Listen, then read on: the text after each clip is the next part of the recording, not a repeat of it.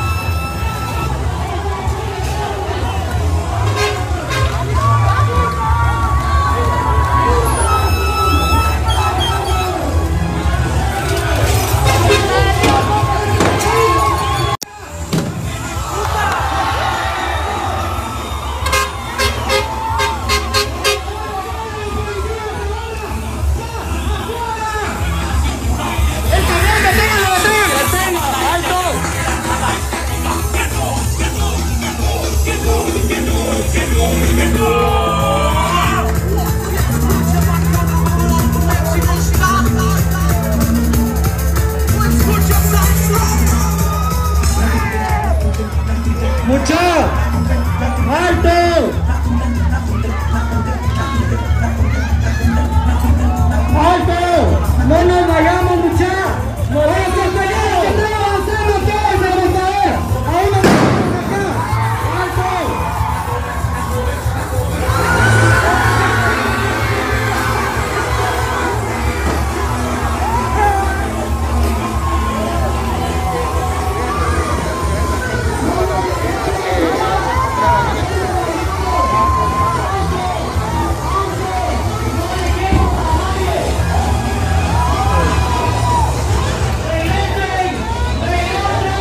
En estos momentos, eh, estudiantes universitarios entran al Congreso de la República a seguir con los destrozos